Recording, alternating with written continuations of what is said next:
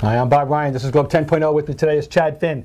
Uh, big off the field news story of Patriots is that Jerod Mayo the fine young linebacker, 25-year-old, has been signed to a five-year contract at good money, of course, at market value money, I would say, and uh, that's very good, and everybody's happy about that. But there's a guy in the team that people are wondering about. When are they going to step up and reward the little wide receiver, number 83, Wes Welker? Uh, how, how, do you think Wes is feeling about this? I think Wes should be uh, getting himself acquainted with a franchise tag because that's where this seems to be headed. Yeah, if if it's not that uh, it could be one of those situations it, Welker and Patriots fans end up frustrated because it's pretty clear they're not going to pay him for past performance.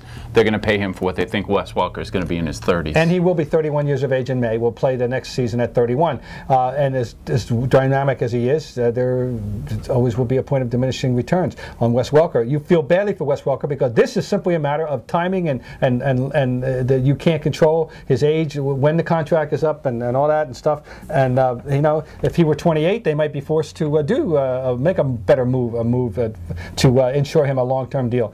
But he's not going to get it, I don't think, at 31, and he's going to have to resign himself to that, which I think professionally, I think he can do.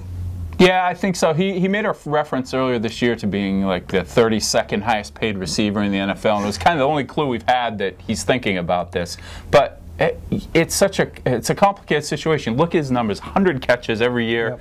But he's a guy who's been takes a lot of hits. He's a little guy. Yep. Uh, he's again on the wrong side of 30. I mean, the, if the Patriots look at this uh, without sentiment involved in it, it could be a you know, situation where Bill Belichick makes an unpopular decision. You know, and it's easy for us to sit around, and I love to do so often, and say, well, you know, they should reward the guy. The, the guy's been uh, way above, way outperformed his contract. No yeah. question about. It. Way outperformed anything that they expected when they traded for him. Sure, they loved him when they got him, and he. But come on, this guy three 300 yard, uh, 100 catch seasons. Uh, we know how many third down plays. We know how many big plays he makes. We know how tough he is.